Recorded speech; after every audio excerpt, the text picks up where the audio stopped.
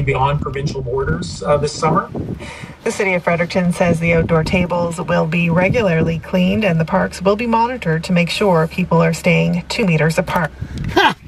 There's the idiot mayor, Mike O'Brien, uh, stating that uh,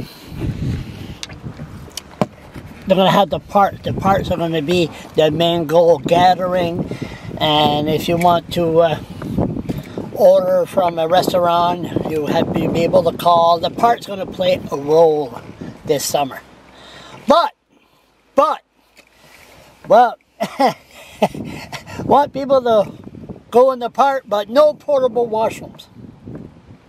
No portable washroom in the parks. They're worrying about the coronavirus.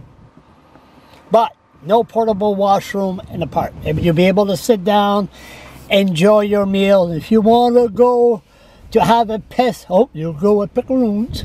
No problem. What an idiot. And we gotta, do we have to listen to him for one more year.